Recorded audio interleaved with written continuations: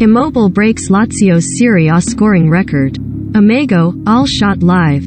Ciro Immobile broke Lazio's all-time Serie A scoring record on Monday with the only goal in his team's 1-0 win over struggling Venezia which moved them. Captain Immobile, who also had a goal ruled out for offside just after the break, smashed home a 58th minute penalty to take his top-flight tally with Lazio to 144, one more than Italian goal-scoring icon Silvio Piola.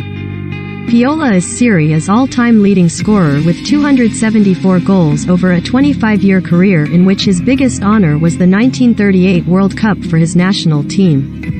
He played at Lazio for nine of those years and scored 149 times overall for the Roman club, another record broken towards the end of last season by Immobile, who is now on 176.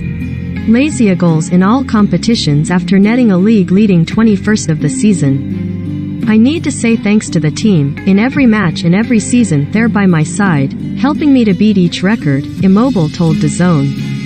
All that you have once you finish playing is how people feel about you. I am really proud of what I am doing here, and I thank the fans, who've truly supported me.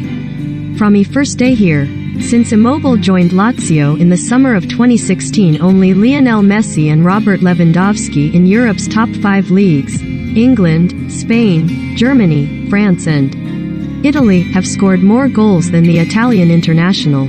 The 32-year-old's winner came on the evening Lazio honored with a pre-match silence another important captain in Pino Wilson, who led the club to their first league title in 1974 and died aged 76 just over a week ago. The goal was especially sweet as it allowed Lazio to move above Atalanta and most importantly Roma ahead of Sunday's capital city derby.